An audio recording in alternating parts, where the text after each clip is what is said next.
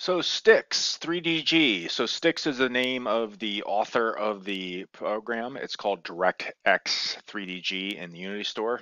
Um, we'll get into all those details, but 3DG is uh, unique in that it's not vegetation as far as when we plant vegetation like trees and you know, grasses. And when I say grasses, I mean like tall weeds and stuff that we plant via VS Pro or the Unity tools. 3DG is actually planted right on our meshes and it has no colliders on it um, and it's somewhat unique but it gives a really good look to the course from a golfer's perspective. So far away uh, you don't see the 3dg but when the ball is on the ground and you're about to hit that's when you do see the 3dg so some more information on Stix 3d grass it is an optional add-on. Um, it costs uh, at the time of this video, it costs 30 bucks, which is to me a very reasonable cost for an asset from Unity.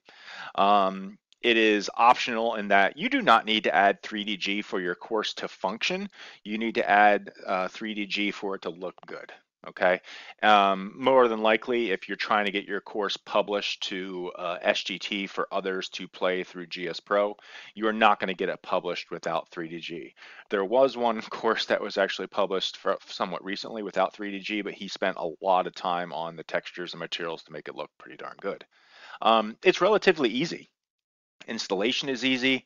Um, with the V4 tools, there are some uh, uh, grass materials that are included by default that match really well to the default colors of the themes that are provided uh, that we talked about in the Unity section. So it's, it's relatively easy. Um, it is performance impacting though, so you got to be a little bit careful.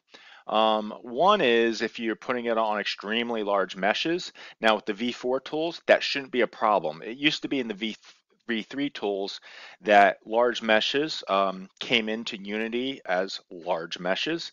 But now with the new V4 tools and what we do with the Blender, uh, large meshes are actually broken up for you automatically. So that's impact on large meshes isn't as big as it used to be. Um, something you probably don't even have to concern you with in the V4 tools.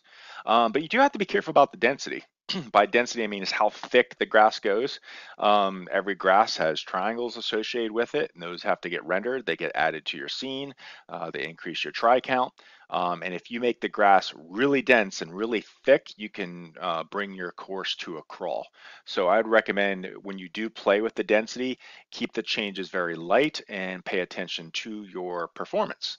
Um, and the last thing here, colors with 3DG can be tricky. So you, if you start to go beyond the default colors and you start to change your meshes, um, the default mesh colors, you add a satellite shader in there.